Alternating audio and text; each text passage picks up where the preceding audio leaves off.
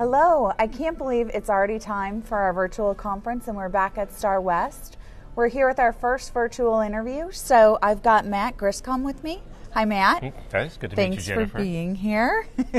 Why don't you tell us, Matt, for those out there watching who maybe haven't had a chance to meet you or attend one of your talks, um, just a little bit about yourself, kind of your background and how you got into testing and you know how you ended up here at this Okay. conference. Oh, this I could go on for hours.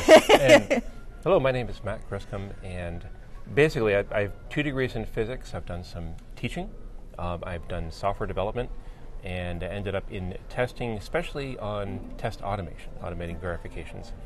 And uh, I became frustrated by the state of the art and what people were asking me to do, and so ultimately, I ended up inventing meta automation, which Okay. is uh, it's a pattern language. Yep. Uh, yeah. And now, so do you have books on this meta automation framework I do. that you built? Okay. I do. I have a book out and uh, published in December, and it's also on the bookstore here at the conference. Okay, so fairly fairly new that the book's been available kind of to the public, but you have a blog on meta automation. Mhm, I do. Correct? Yep. So if people wanted to learn more about meta automation, maybe just give us kind of a high level. I know it's a pattern, so maybe some of the difference of that to what they're maybe more familiar with or some of the traditional uses or frameworks that we have for automation, just to give them an idea of what that is. Okay. Well, meta automation is about making people be more productive and achieve greater goals with automation, automated verifications around the software. Part of that comes with the first realization, which is a little bit hard hitting, is that test automation is actually a contradiction in terms because it's not the tests that you're automating and you're not doing industrial automation and you don't care about the product output. You're Right. just making it do stuff. What you do care about is the quality measurements. And that's what meta automation has you focus on. And that's the topic of my the first pattern in the language, uh, atomic check. Focuses it tells you how to focus on the business requirements Okay. uh, of the software product and get a measurement of that, some information about the product, and put that in pure data. Maybe that comes a little bit later. But it's, there's a lot to it. Some of the things I advocate for, I have noticed that people are starting to do on their own. For example, having their checks be mm-hmm. short and simple. Right. And a check is simply a type of a test. Yep. It's a type of a test where it's all pre-programmed verifications. So we're not doing exploratory testing, and we're not smart like a human tester is smart. Right. They're always indispensable. With checks, makes it clear that we are going to measure something different about the quality. Okay. And, And what have you seen in terms of? So obviously, you mentioned, you know, a lot of people out there, when they hear automation, you know, have an opinion, right? Either Mm-hmm. they love it and think it's a great idea, or you know what, I'm not so sure. I think you know manual testing, and you know, you can't get away from it, and we need to have it.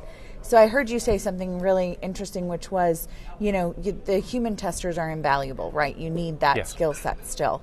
So how do you see your meta automation and that traditional, you know, human involvement testing you know, pairing together for people and Mm-hmm. Working well? Well, that's a good question. It's not just a pairing, though. There are many other types of testing as well. Mm-hmm. But the manual tester will always be indispensable because a human has the smarts to notice stuff and characterize what's going on. And you always need a human to look at the layout of a web page. Did this localization work correctly? Uh, is that timing really acceptable? Have we covered all the bases in terms of the UX? Or in a web page, it could be is the control displayed at all? Because Right. an automated verification might not even notice stuff like that. So you always need manual testing. The automated testing in the s- uh, simplest form is what I focus on. It does verification of your business requirements. Yep. And performance comes for free in my implementation of it, which is nice because um, when you're doing the verifying the business behaviors of the Yes. product and seeing, okay, the step, step, step, does this work? And basically, that's your measurement. Simple as possible, uh, straight to the point, and fast. And now there are lots of them. And because they're atomic, they are as short as they can be, although they may be dependencies between them. Functionally, they can still operate independently on, on different Yeah. machines, and so the whole thing scales. Uh, So you could run those yeah. independently on single workstations, or you could have it in a build where it's running in a nightly cycle or a, a daily cycle. Uh, yes, yes. Even on a whole bunch of virtual machines in the cloud, Mm-hmm. Yep. you can allocate more resources, and your checks will run faster. Yep. And that enables you to run more of them. Yep. Yeah. So that uh, with the manual testing, the other types of testing are important too. Of course, you have the perf, which in my case, with meta automation, you would simply do another round of analysis on the artifacts because all the data is there waiting Yeah. for you to measure in terms of how long did it take. Yep. Uh, but then there's uh, stress testing and load testing, and that is a different uh, discipline, and that's Yeah. another important part of testing. And then there's security testing, and um, there are people who are experts in that stuff, Yeah. and uh, I think it's very important and great that they do that. Yes. So, but that's another area, and there are many others as well. So, someone were interested and said, you know, this sounds interesting to me, and I think I need to look into it and how to do, you know, the meta automation. So, obviously, you have a blog that they can go Mm-hmm. to to learn more. And what is the name of the blog, just so they know? Oh, the blog is Meta Automation, uh, and you can see it from the website metaautomation.net. And metaautomation is one word, .net, and there's a link to the blog there, which is on uh, Blogspot, Okay. and also have resources like downloads for a sample that uh, would run. And there are two samples actually. One of them is it's delivered as a zip file, and all the sources there. It's platform independent. The second sample is much more complex and powerful in its Okay. implementation, mostly platform independent. But I also use WCF services. Okay. Uh, but um, the cool thing about the samples are is that you can show what is going to be done. Yeah. And there, actually, there are two resources then that I would recommend for people to learn more. One is my book, which you can find on Amazon, and I link to that from Meta Automation, metaautomation.net Dot .net. website. And they can get to the Am- the link on Amazon And for link the on book. link on Amazon, yes, and Perfect. that's out. And there's my blog. The if you're really tactical and at some point, if you're really interested in the, the people who are the early adopters Yeah. of this technology, will be very tactical. They'll want to get the samples and try Yeah. running those. And the sample two comes with a whole bunch of examples of what it does, and including real world, well, fake, but real world tests, and they're distributed across processes, Mm-hmm. and you can distribute them to any number of machines. You can have uh, the artifacts have the check steps be self-documenting, Right. and you have an artifact of pure data which tell you which steps passed or failed or were blocked.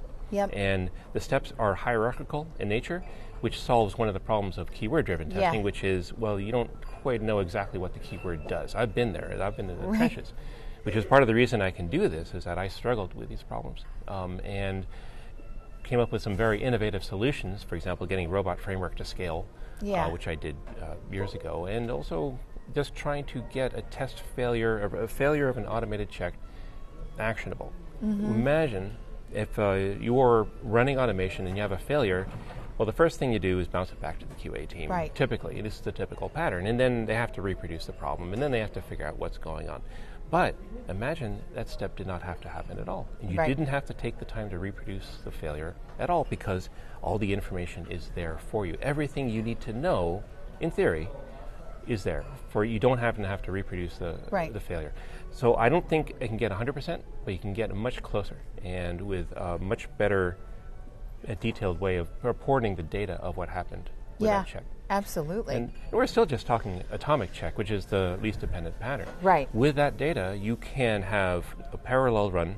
You can run a whole bunch of them. Actually, that pattern already exists. Mm-hmm. But there, there is, you need to have short, fast checks to run that well.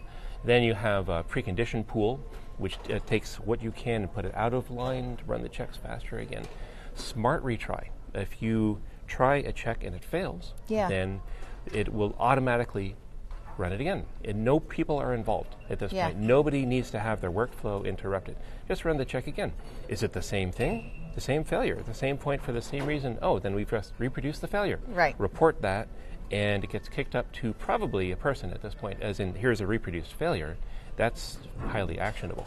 Right. Or if it works the second time, then, well, we just, you know, say, call it a pass, but all the data is there. Perfect.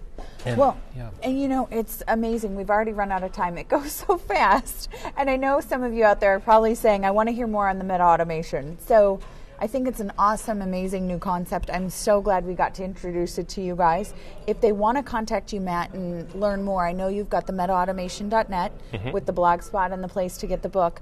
But can do they get to reach out to you? So is there a way to, you know, ask a question off of there to you if Yes. they want some feedback or information from you as well? You can post questions on my blog Perfect. or on metaautomation, metaautomation.net. There is a contact page. The contact page, post- they'll be able to find you. Yes, they can find me that way. Um, Great. Yep. Thanks, Matt, so much for being here with us. And um, thanks to the audience out there. So I appreciate it. Thanks, Thank you, Matt. Jennifer.